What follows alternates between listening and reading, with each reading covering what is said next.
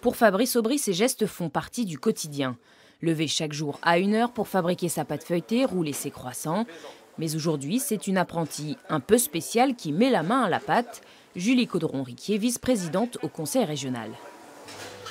Eh ben, c'est pas mal. C'est vrai Ah ouais, franchement, ouais. Ah ouais. Vous m'embauchez Ah ouais, tout de suite. L'occasion pour cet artisan boulanger de parler de son métier et de ses contraintes. On vit, mais euh, ça s'arrête là parce que bah, il y a trop de charges. Il- on peut plus faire autrement que de payer sans arrêt. On est, on est des vaches à lait,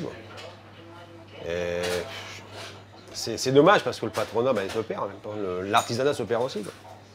Par rapport à- aux charges. Il y en a beaucoup qui tombent. Il y a- à l'époque, il y avait plus de 4500 boulangeries, il n'y en a plus beaucoup. Quoi. Trois ans qu'il est sur Péronne, sa boulangerie compte cinq salariés. Une petite entreprise passionnante, mais avec beaucoup de frais. On a un four qui est tout neuf, qui a coûté 30 000 euros avec le Panem.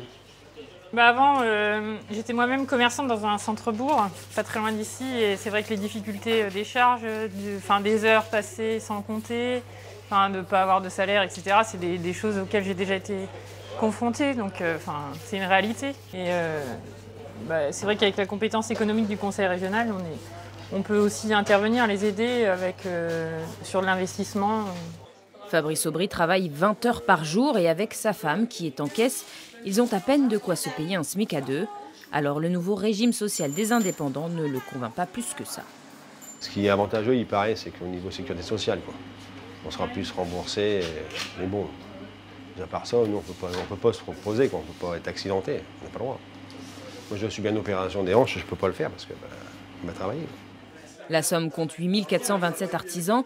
En 2016, on dénombrait environ 1000 nouvelles immatriculations pour 600 radiations.